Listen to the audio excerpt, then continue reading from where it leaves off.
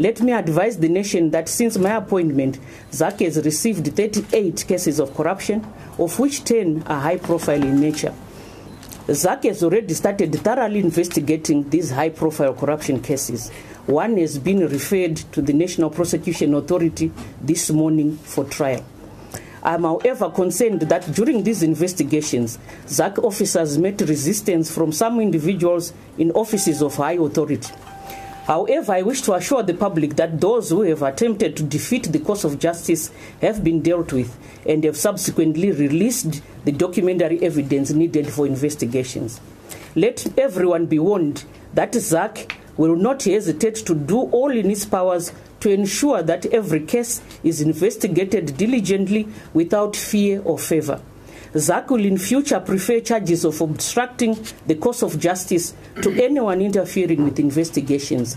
So be warned.